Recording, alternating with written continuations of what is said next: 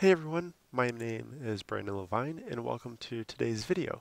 Today we are going to go over a review function built into AEM Forms and the reason why I chose this part of Forms to go over today is because when I was trying to learn about this function myself uh, online I couldn't find many videos about it and I believe that organizations may want to take advantage of this before making their forms available to their audience. This reviewing process should be taken advantage of because it allows multiple people to look over the newly created forms for mistakes, missing fields, and any other type of errors. So before we get started, I'm going to provide some context for the process we will be walking through today. So on your screen you can see that we have a workflow and that workflow is for a fictional company that we'll be working with today. And Mark, the first person on that workflow, is the person that creates all their company's forms. He is the main content creator. After he's done making the form, he has to send it to Claire and John for review. Claire and John will then proofread the form to see if the field settings are correctly configured uh, to collect the data uh, and to make sure that overall the form is free of grammatical errors and so on. So once they've completed the review, Mark can then publish the form or do whatever he wants with it. So let's go ahead and get right into it. So now, starting in Mark's role, I've created a rather simple form. It just gathers some basic information from the end user. So as Mark, I think this looks good and is ready for review. So if I go back to our Forms and Documents screen, I can find the form I just created, which is this YouTube form. I can go ahead and uh, click the icon right next to it, and then at the top, I can click on Start Review. And once I do that, I can then fill out some of these uh, property fields. I can give it a title. I can say YouTube review. I can get a description if I wanted.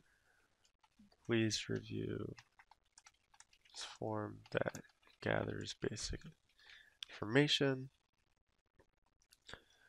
Uh, I can set a deadline if I wanted to. Uh, I can add my reviewers here, so we want to add Claire.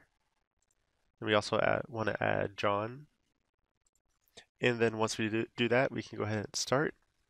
And so when that happens, um, I, as Mark, am assigned a new notification up here, which tells me a review is going on.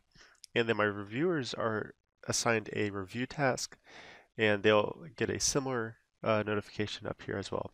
So let's go ahead and go into one of our reviewers. So we'll start off with uh, Claire. Let me just go ahead and impersonate Claire.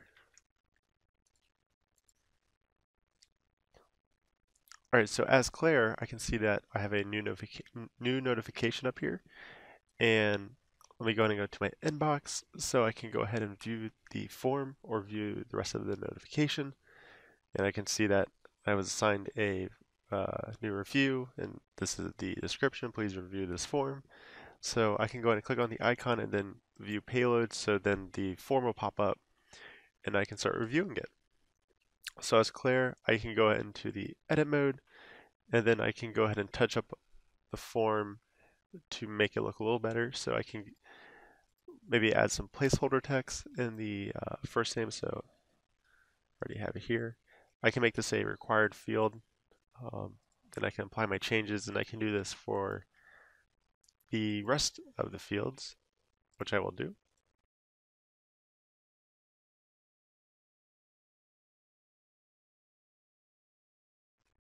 So now that I'm done with that, uh, the last thing I want to do as Claire is add a submit button to this form. And I can scroll down and where is that? Here it is.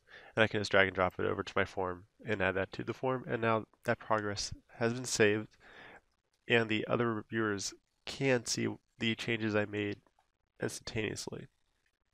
And the last thing I want to do as Claire is going back to our review uh, screen. I can refresh this and then I'll see all the changes I just made. And I can actually add a couple comments to I want if I wanted to to this form to inform the other reviewers that I made some changes so I can say made some changes add placeholder text and then I can enter my change and now all the other reviewers on this uh, form task will be able to see my comment. So I'll go ahead and exit out of Claire's mode and I'll go and go ahead and go into John's uh, identity for now. So I'll start playing the role of John. Alright, so as John I can see that I do have a notification up here that lets me know that I have a task going on, a review task going on, and I also have this uh, review task here as well. So I can go view the payload, I can see the comment that Claire made, that she added some text or some placeholder text and a submit button. And then outside of that, I think it looks good as John, so I'll say, looks good. No new changes from me. I'll go ahead and submit that. And then I'll go back to the inbox. one thing I actually forgot to do as Claire was click on this notification uh, button at the top right, and then click on the task from here. And then we can actually uh, complete our task once we're finished uh, making our comments or changes to the form. So say, I'm done, no changes from me. And then I'll go ahead and go back to Claire and do a the similar task, so or the similar process.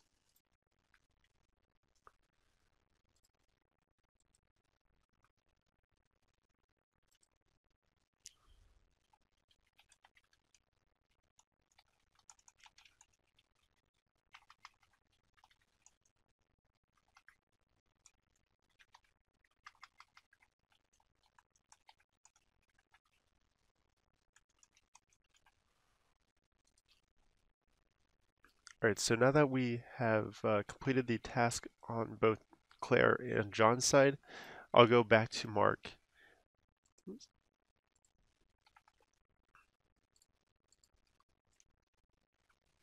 Alright, so now as Mark, we can go ahead and uh, view the payload, uh, see what's happened, what changes has been made, and then Mark can see that you know, people put in placeholder text, someone changed telephone to phone number, and you can read the comments and see what everybody's been saying. He says, thank you everyone.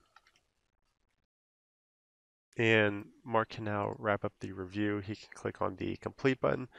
Um, but if you wanted, he could also add another reviewer to this process. That way uh, he could have some more eyes looking at it.